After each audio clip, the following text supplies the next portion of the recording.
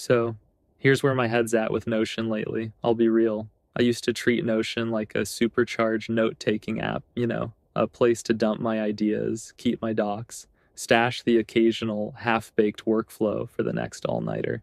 But something's changed, and honestly, Notion 3.0 feels like it just graduated into full blown command center status, especially if you're living that solo dev life. You probably saw all the hypes native Claude Sonnet, GPT-5, agents, connectors, the business plan. And I know, I know, every tool claims it'll change the way you work, but with Notion's latest update, something actually clicked for me. This isn't just another feature dump, it's Notion morphing into the home base for all your indie agent powered dev workflows the stuff that actually runs your day. And for anyone building with Claude Code, Codex, or Cursor, trust me, this is the update that finally makes Notion more than just a docs vault. And yeah, I'm Daniel. I've been in the iOS trenches for eight years now, and lately, Crafters Lab is where I've been putting all my energy. It isn't just another tutorial site or another AI clone farm. And yeah, if you're part of the Patreon crew, huge thanks. And heads up, everything's moving over to crafterslab.dev. Okay, here's the big shift. Notion uh, 3.0 finally feels like a platform, not just a note taker, not just a fancy database. For the first time, it's the kind of place you could actually call your command center. And it starts with the business plan. Yeah, I know, no one loves paying for one more subscription. But here's the thing if you're serious about using AI as an actual teammate, this is the moment you get value for the price. Why? Claude Sonnet and GPT-5 are just there, built in. No more bouncing between tabs. And with connectors, you can now tie in all your other indie workflows search, research mode, meeting notes, those little automations that keep your indie projects moving. It's all living inside Notion, not scattered across 12 different apps and seven forgotten bookmarks. But what really pulls it together, for me at least, is the uh, move toward custom agents. This is where you stop thinking of Notion as just a nice place to keep docs and start running your entire indie stack through it. Automations, integrations, scheduled workflows, um, all inside one workspace.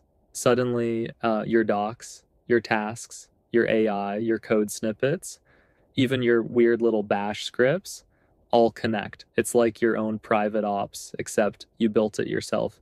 So if you're a Notion user already, or you've just been on the fence, honestly, this is the right moment to lean in. Agent ops, native AI, and automation together are what turn Notion into a real operating system for solo devs. Now, here's where it gets personal for me this whole uh, agent ops thing. Um, it's basically the the main instruction set for Notion AI. I've been building and improving as I go. Honestly, it's just an instruction page, but it's kind of like a custom system prompt for ChatGPT or what we do with Claude.md for Claude Code. Before, I used to just wing it with prompts, hoping Claude Code or Cursor would figure out my weird stack, my repo quirks my never touch this script rules. Sometimes it worked. Most of the time, I ended up doing cleanup. And here's the twist Notion's new native custom GPT slash agent system actually lets you schedule and integrate these instructions right into your workflow. You're not just asking the AI to do stuff, and you're configuring workflows, assigning roles, and giving each agent the context it needs to act like an actual team member. Plus, you get row level security so your sensitive project details stay locked down even if you invite external folks in to collaborate. So, for example, I'm spinning up a new app idea. I'll have an agent that handles product research, another that drafts my PRDs, and a third that scrapes feedback from user testing, all following my agent ops, all reporting back into the same workspace. It feels like running a whole startup, except the team is just me, plus a bunch of AIs working off my own custom blueprint. That's the difference. Notion 3.0 from a place you store knowledge into a place you run your solo dev business. And yeah, crafters can just request uh, access to the agent's ops team space on crafterslab.dev. I've put my all agent ops system up as a template, totally ready to go. You can duplicate it, remix it, or just steal the pieces you need to make Notion your own indie dev command center.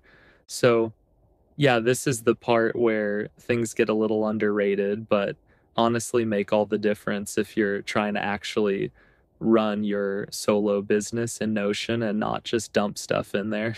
You know what I mean? Like, for the longest time, I'd be spinning up new pages, making dashboards that looked cool for about five minutes. And then, yeah, it just turned into another pile of notes and half finished plans.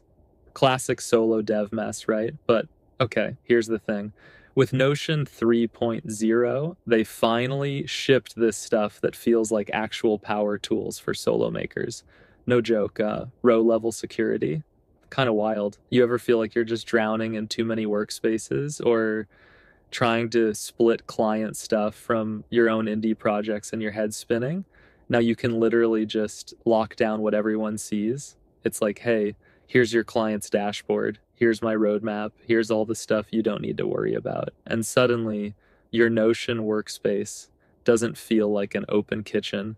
It's actually organized. And right, database containers. Nobody's hyping this enough. I mean, before this, I'd have to play this game of which table has my actual bug tracker and why is my roadmap in a totally different place.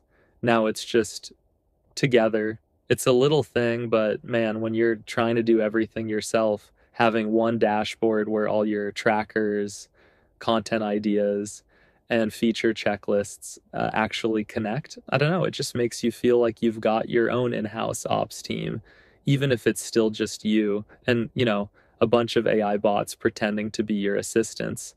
And then the nerdy bit AI formulas and automations. Look, I'll be honest, I used to live in spreadsheets and always wished I could just run my solo projects the same way. Notion 3.0 gets pretty damn close. You want to auto tag stuff, trigger reminders, build out analytics on your launches, or even set up those, hey, did you forget to ship this week? pings. All possible. And yeah, it's still Notion, so you don't have to break your brain learning a whole new tool. But the real thing for me, it's just Notion 3.0 isn't about organizing anymore. It's not a prettier Google Docs. It's actually the engine that runs my indie life. Onboarding agents, sharing the right files with clients without showing my entire roadmap, keeping a living dashboard of what matters, all of it right there. It's wild, honestly. And okay, maybe that sounds dramatic, but if you're a solo dev and you've ever had that wait, where is my own brain today? Feeling, you get it. And, you know, that's kind of the heart of it the real win isn't the features, uh, it's that I can actually build, iterate, and scale solo, but not really alone. Not when Notion's finally acting like my operations center instead of just a blank doc. And yeah, for what it's worth, that's the upgrade.